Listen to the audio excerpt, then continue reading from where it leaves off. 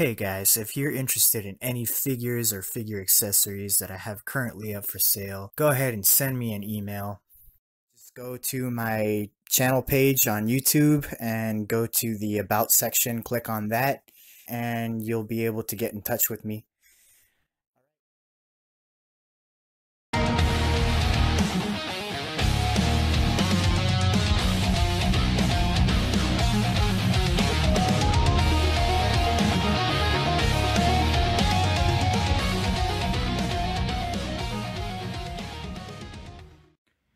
How's it going, my fellow collectors? I am back once again with a short video this time. Uh, I just noticed that there is practically no uh, videos or social media or anything about how to remove the belt from the DX19 Batman figure and I've had this figure since it was released, which was what, like two years ago now? Uh, and for the longest time, uh, I've wanted to get his original belt off. Um, because this belt that he has on right now is from the DX12. It's the one that's like doesn't have any utilities on it. Uh, it's just, it's just bald, you know. It's just the belt itself. And that's the one he was wearing when he was in Hong Kong. Uh, along with the backpack that he had. So I I when I got the DX19, I was all like, you know, I'm just gonna take that belt off and put uh, the DX12 belt on that. And when I got the DX19, I was it was so hard to take the the belt off. I thought, you know, it's non-removable. You can't do it. It's just not possible. And I looked everywhere online to see if anybody else was able to take it off and there were probably a handful of people that were able to, but uh, they never showed how to take it off. So, um, I mean, there would be talk about it on forums and such, but you couldn't understand how to take it off without uh, somebody actually showing you. So that's basically what this video is going to be about. I'm going to show you guys how to remove the DX19 belt from the figure itself. And uh, I advise you guys that if you try this, uh, you have to be very, very careful because the DX19 belt does have the uh, possibility of breaking since it's just plastic. So there is a high possibility of breaking it. So this isn't for the faint of heart if you want to try this. Yeah, like I said before, uh, I just gave up. I said, uh, forget it. Uh, there's, it's, it's impossible to take it off without breaking it. So I just gave up and um, and pretty much moved on. Uh, but I came back around and I said, you know what? Uh, after a year of having it, I said, if if it breaks, I'll just buy a, a DX uh, 12 belt to replace it.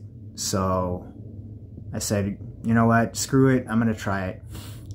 So that's what I did and I'm going to show you what I did.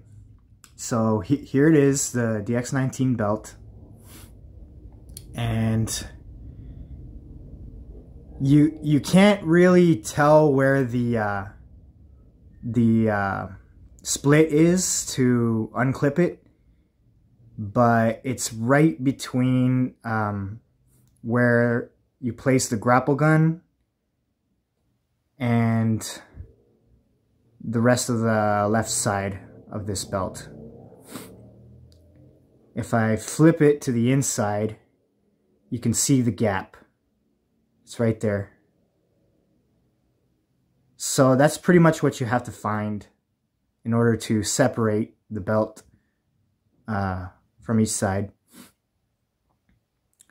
And let me tell you guys that it's a really, really tight fit. There was a couple times where I thought it was actually going to break. So what I did was you have to wiggle it left, uh, or I mean up and down.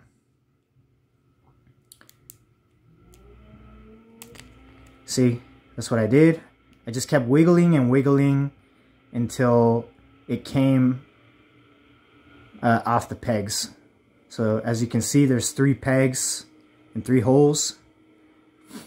Pretty much just like the uh, DX12. The only difference is the uh, the fit is very, very tight. Especially when it's on the figure, it's harder to take off. Or, or I mean, it's like harder to wiggle off and get it out of the holes. So, so that's that's pretty much all you had to do. But mine wasn't fully uh, clamped shut to make it easier to take off. I, I had a lot more uh, trouble trying to unpeg it when it was on the body, when it was on the figure itself. That's why I, like I said, I I was afraid that it was actually going to break a couple times. So that's why I'm urging caution to you guys if you want to do this. That there is a possibility of breaking it. Uh, fortunately for me, I was able to take it off with no problems, except for the difficulty. So there you go, guys. That's my uh, demonstration on how to remove the DX19 belt.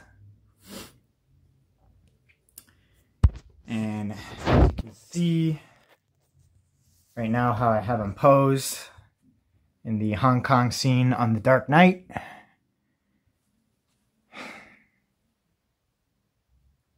So I got them posed up with the uh,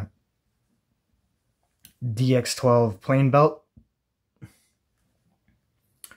And uh, I bought the, uh, the, or I should say I rebought the DX12 sticky bomb gun because it has the uh, magnetic attack attachments. Because this belt has two magnets in the back where you can attach the DX12 sticky bomb gun. the this belt I already had left over from my uh, DX12 that I sold.